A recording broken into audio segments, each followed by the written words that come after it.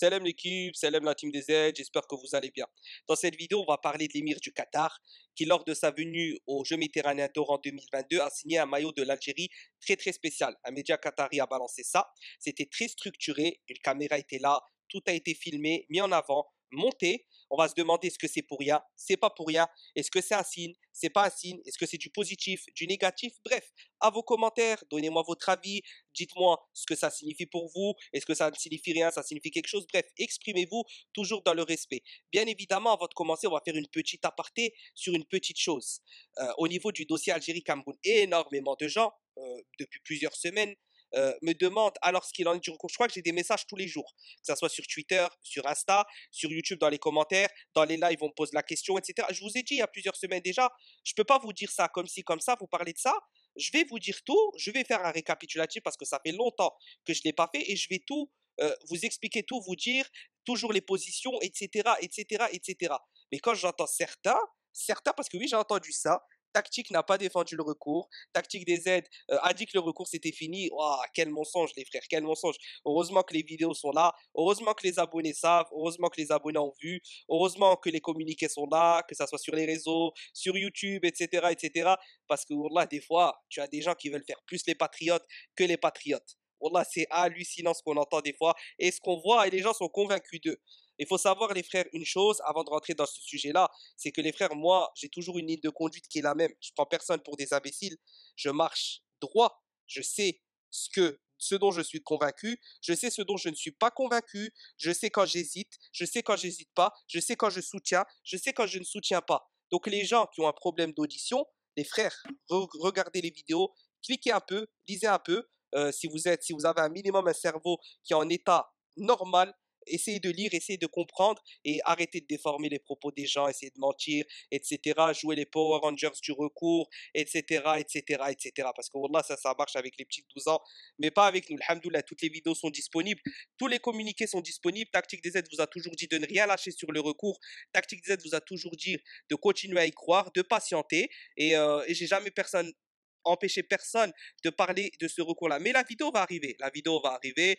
Euh, moi, je la fais pour les abonnés, pas pour les gens qui me suivent pas, pas pour les gens qui sont peut-être euh, jaloux dans leur cœur, qui ont une petite haine ou ceci ou cela. Ça, frère, c'est laisse tomber. On fait, on fait pas attention. Moi, c'est juste pour les abonnés, parce que les abonnés, il y a du respect pour eux. C'est eux qui soutiennent, c'est eux qui donnent de la force, et on les remercie toujours à ce niveau-là. Bref, une fois que ça s'est dit, bien évidemment, si vous êtes nouveau, n'hésitez pas à vous abonner si ce n'est pas déjà fait, à liker et bien sûr, donnez votre avis en commentaire. On rentre dans le vif du sujet. On va passer tout de suite euh, aux, vidéos. Aux vidéos, euh, pardon, aux vidéos, aux images de ce maillot tant signé. C'est parti.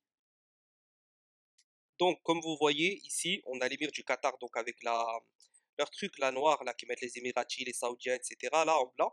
Là, il a le maillot qui vient d'être signé en main. Donc il va le redonner ensuite, euh, comme vous le voyez euh, à l'image, donc euh, à une personne chargée, je ne sais pas, de sa délégation, etc. ensuite, il va être remis aux supporters concernés. Et tout ça, bien évidemment, va être mis en avant, filmé, comme on va, pouvoir le voir. Donc, maillot Floqué Belmadi. Donc, maillot de l'Algérie, Floqué Belmadi.